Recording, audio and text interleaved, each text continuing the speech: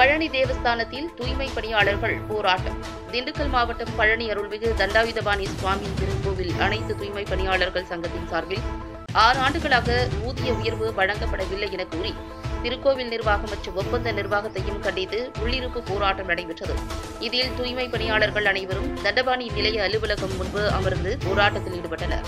இதனால் பழனி மலைக்கோவில் மற்றும் உப கோவில்களில் தூய்மை பணி பாதிக்கப்பட்டது.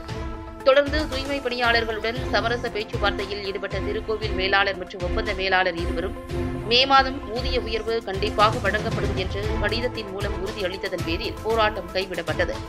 இந்த ஆர்ப்பாட்டத்தில் இருநூற்றி ஐம்பதுக்கும் மேற்பட்ட தூய்மை பணியாளர்கள் கலந்து கொண்டனர்.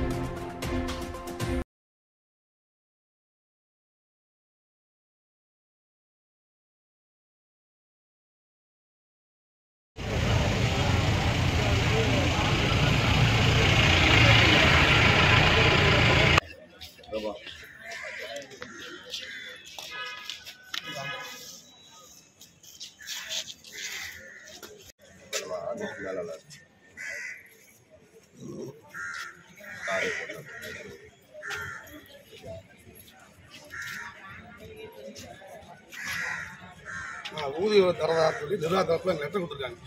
மே ஒன்றுல இருந்து ஊதியம் தரதா நிர்வாக லெட்டர் கொடுத்துருக்காங்க. இதான் லெட்டர் உங்களுக்கு காமிச்சிட்டு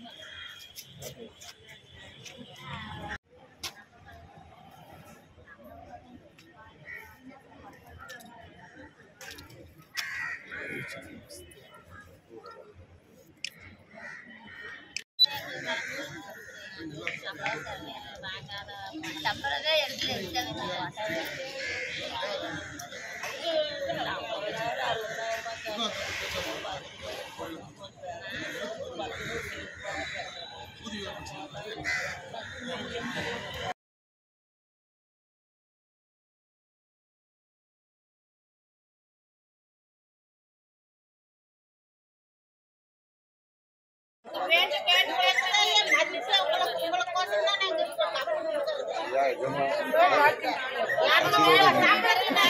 உங்களுக்கு